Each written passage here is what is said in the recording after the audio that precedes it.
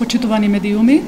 Денеска сме собрани на кампус 4 на Филолошкиот факултет при Универзитетот Гоце Делчев во Штип, за да ја оддадеме почит на нашата покојна професорка и прва деканка на Филолошкиот факултет, почитуваната професор доктор Виолета Димова.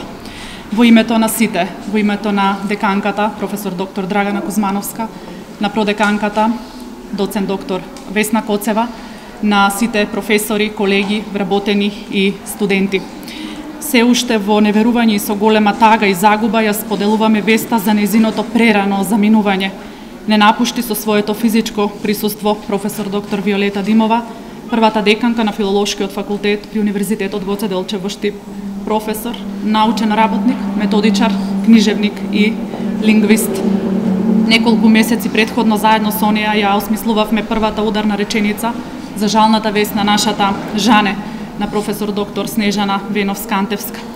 За неа, за почитуваната професорка Димова, драга колешке и уште помила пријателке, мораме, односно деканката мораше ова да го напише сама.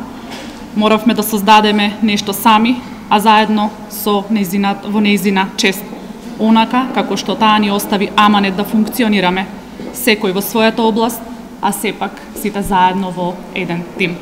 Незиниот спомен и незиното дело остануваат за секогаш.